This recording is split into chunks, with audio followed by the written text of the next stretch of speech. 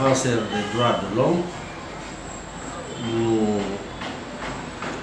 regrettons la façon de faire de la justice. Parce que on a tout l'air de croire qu'il s'agit d'un règlement de compte post-électoral. Parce que toutes les personnes qui ont été convoquées appartiennent non seulement à l'UFDG, qui est le parti d'opposition, le principal parti d'opposition, qui prétend avoir gagné les élections, mais aussi il y a ceux qui sont membres du Front National de Défense de la Constitution, qui sont opposés au troisième mandat. Voilà les personnes qui sont harcelées. Donc, euh, ce n'est pas que ça, mais c'est la méthode, les méthodes utilisées. On prend plusieurs pick-up,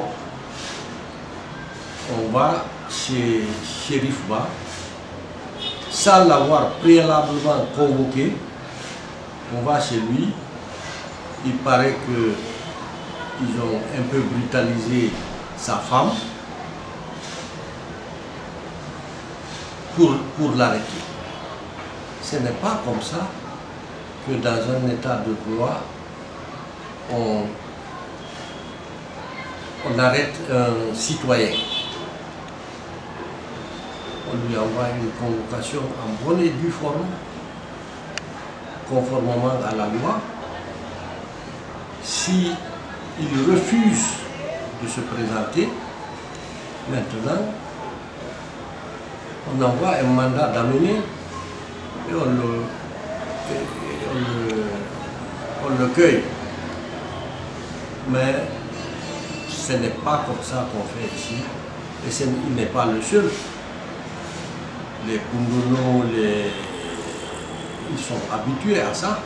On va chez eux, on s'attaque à eux, on, on pille même chez, chez- chez eux, on brutalise la famille et puis on cueille quelqu'un.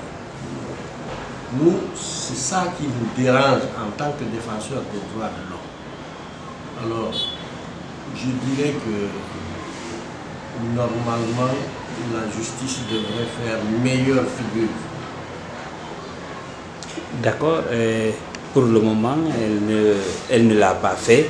Et est-ce que vous avez un message particulier à lancer à l'endroit, bien sûr, des autorités guinéennes qui se livrent à de telles pratiques?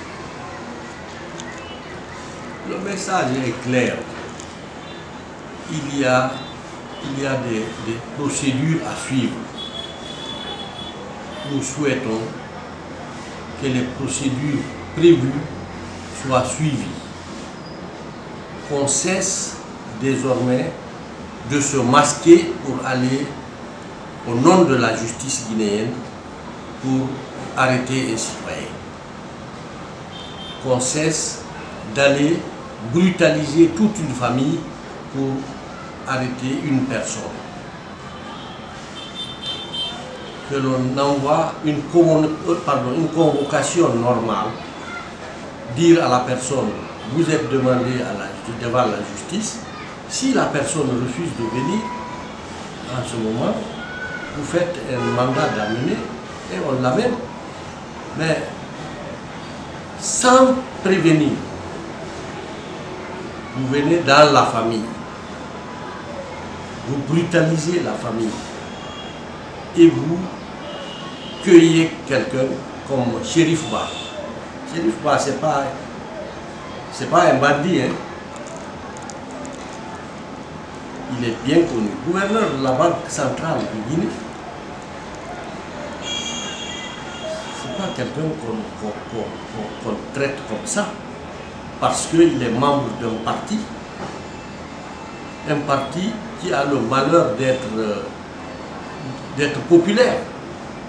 Donc, c'est ce que je demande à la justice, c'est d'avoir un minimum de respect pour les procédures prévues par la loi. Est-ce que depuis euh, le début de cette crise, vous avez échangé avec euh, les membres du gouvernement sur ce qu'il faut? Et qu'est-ce que vous pensez être la solution à cette crise guinéenne aujourd'hui? Bon, moi, je suis l'intérim après le, décès malheureux de notre président. Mais je ne sais pas si lui, avant de décéder, il avait entrepris quelque chose en, direction du gouvernement, mais je connais sa position, c'est celle que j'exprime ici. Donc, moi je ne suis pas en relation avec le gouvernement pour le moment, mais nous, en tant que défenseurs des droits de l'homme, notre premier partenaire, c'est le gouvernement et l'État. Tout ce que nous constatons en matière de violation grave des droits de l'homme, la première référence pour nous, c'est l'État, c'est le gouvernement. On informe le gouvernement et on informe, si ça ne marche pas, on informe les opinions nationales et internationales. Nous n'avons pas d'autres moyens.